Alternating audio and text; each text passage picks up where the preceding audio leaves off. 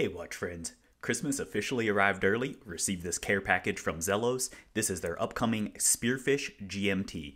This one's going to be launching on their website approximately one week from the time of publishing here. I will have the full review coming, so do stay tuned for that. Today, I just wanted to enjoy in a candid unboxing with you all. So let's go ahead and cut this open and see what we've got.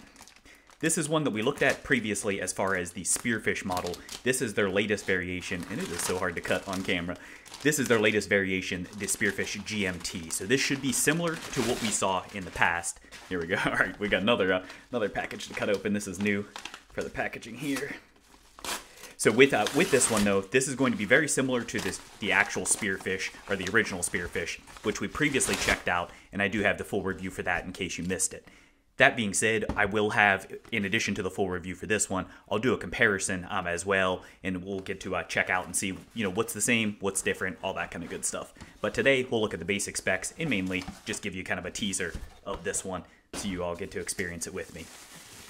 All right, inside we've got the familiar Zelos packaging here. This is the newer style construction. This is their aluminum box. You can see the brush finish, dual tone here. So you've got kind of like a gunmetal gray. You've got silver on the exterior. Very nice brushing as always. Clasp, pretty good on this one. I've had some that have been loose there. And then open that up and let's check out what we've got. All right, so first at the top, we've got the Zelos warranty card, typical fashion here.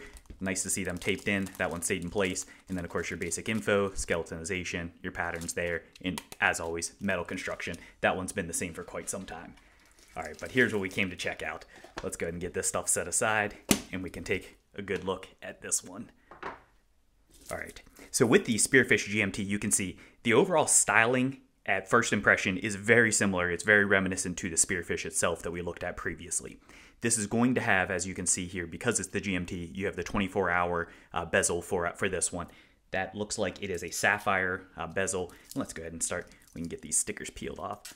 Let you all enjoy that with me. I don't know about you, but I definitely enjoyed that uh, that sound and that first uh, first peel away. That's always fun. This is one of the things that I'm excited to check out for this. Is it does have a new clasp for uh, for this lineup, and it does differ from the Aurora that we looked at recently, which also had a new clasp but we'll check that out further in just a moment. Last sticker. All right, there we go. All right, so now that we have uh, have that peeled, and let's see, actually, looks like we do have, I think, one on the crystal. Let's see if we can get that off. Oh, this one's gonna be a bugger, isn't it?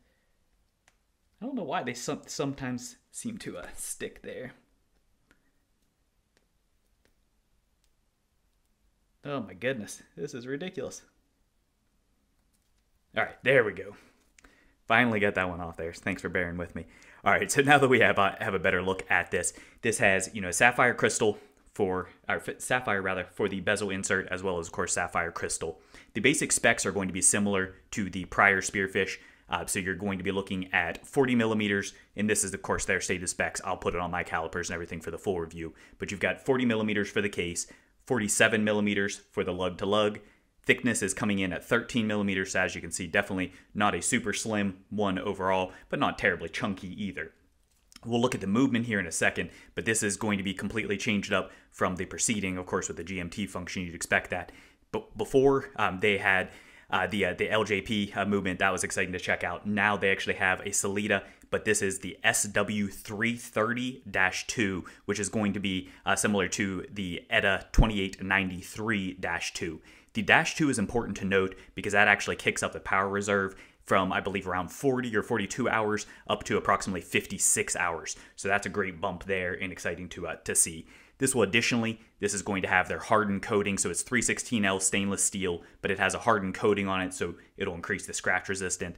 The price is going to be a little on the higher side because of that movement in there. It is $850 um, is going to be the launch. And then there's four variants that are going to be available. Of course, the white that we're looking at today. There's additionally a meteorite and a venturine. And then there's a newer color um, that's kind of like an orangish yellow, uh, somewhat of like a mustard a yellow coloration for, for that. But let's check out this a little closer.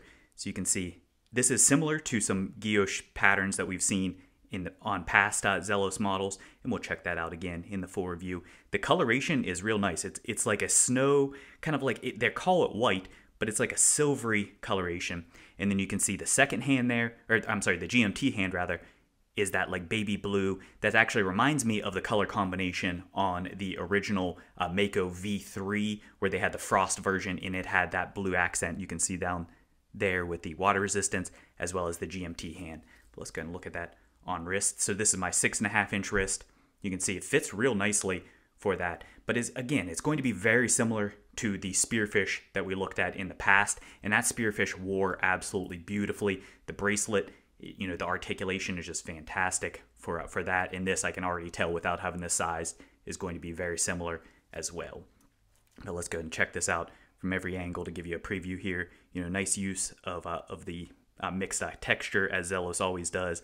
Generous application of the polish, but just to break up that brushing there. This is going to be a bidirectional so 48 click. You know, it's, it's pretty good. Um, ultimately, we've uh, checked out some in the past that I was underwhelmed with. This actually, I'm wondering if this is a bearing style like the uh, original Horizons or the Horizons V2 uh, was, because this actually has a very positive click to it, which is, is nice. You know, it's not the ratcheting that you get from a traditional spring, but it actually, I mean, it feels pretty well nested in place. This was something that was a deficiency on one of the uh, more recent bidirectional, which actually might have been the uh, the spearfish. So that feels a lot cleaner there, and I'm liking that overall. And then you can see here a little more polishing on this side with the crown uh, crown guard there. Checking that out. But let's check this out. We got to look at that case back. Look at that rotor. That thing is just sweet. You've got this obviously completely custom there. You have the skeletonization and just a really cool look. You've got very subtle Geneva striping that's worked in there, but with having that heavy skeletonization. Of course, the Zelos Z in there, that's a nice touch as well. Really good looking, and of course, in the full review, we'll have this in outdoor footage and everything, so we'll get a better, a better look at that. But one of the big things I want to look at is this clasp. This is different, as I mentioned, than the Aurora clasp that we looked at. This one is going to be a toolless micro adjust as well, so that's great. This actually was featured previously, so this isn't the first time for it, but it is a newer clasp. This was on one of their recent models, the Vatisse. So I'm curious to check out check this one out and see how it compares to the Aurora. First, let's go ahead and look at the silhouette.